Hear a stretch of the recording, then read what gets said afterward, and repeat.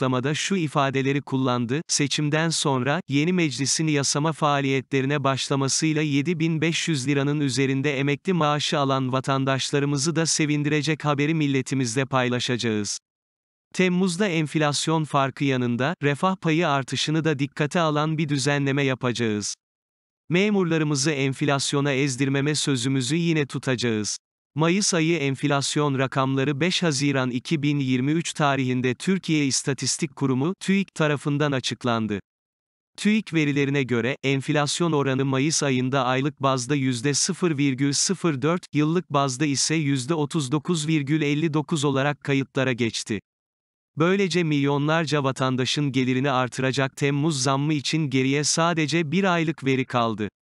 SSK ve Bağkur emekli zammı Haziran ayı enflasyon oranı sonrası netlik kazanacak. Haziran ayı enflasyon rakamları Temmuz ayının ilk haftasında duyurulacak. Mayıs ayı enflasyon rakamları ile beraber 5 aylık SSK ve Bağkur emekli zam oranı belli oldu. Buna göre, 5 aylık enflasyon oranı %15,26 olarak hesaplandı.